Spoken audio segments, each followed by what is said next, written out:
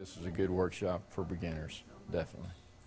Because of the, the exercises that were explained, the, they are beginning exercises for kettlebells.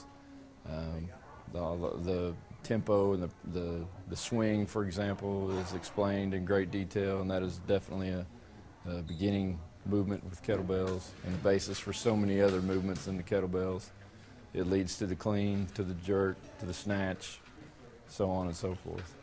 I would highly recommend this workshop. Uh, as we said, it's uh, very informative.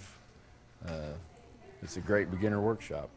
What I like the best is that Lisa broke it down into small steps. The technique was broken down so simply that I feel confident now that I can go home and put this together on my own without injuring myself and also in the future use it with my clients after a lot of practice. She really was so thorough and uh, I'm very pleased and confident that I can make this my exercises.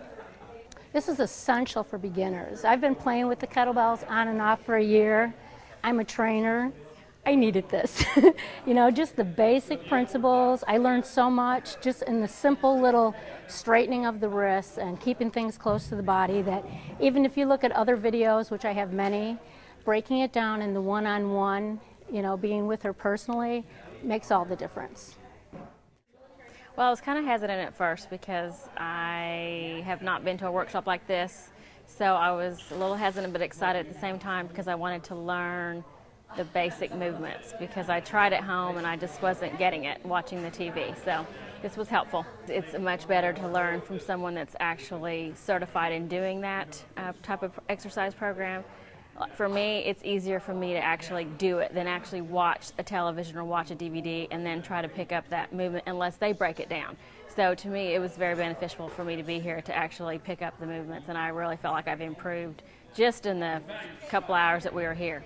When you're when you're actually getting feedback, you're being told immediately and you're getting corrected immediately if you are doing something wrong and you're getting reinforcement when you're doing it right.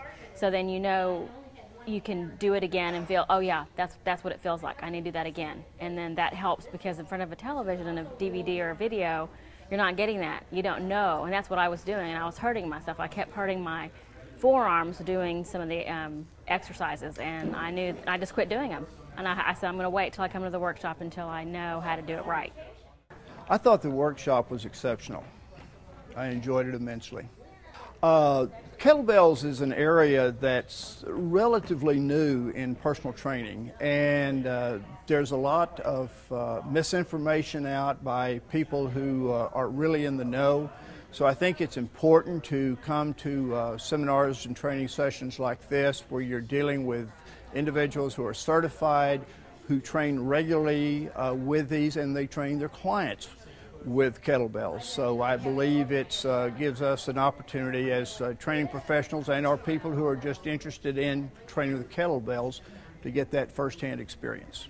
If they're really interested in learning to use kettlebells for either personal use and or for business, that I think it's essential that they get this sort of training and I think uh, that this would be an excellent uh, course to start with because it's hands-on, it's small, uh, from a standpoint of it's convenient it's located here in Dallas and uh, easy to get to from the suburbs and so I think it's an excellent uh, first session to go with and something to build on.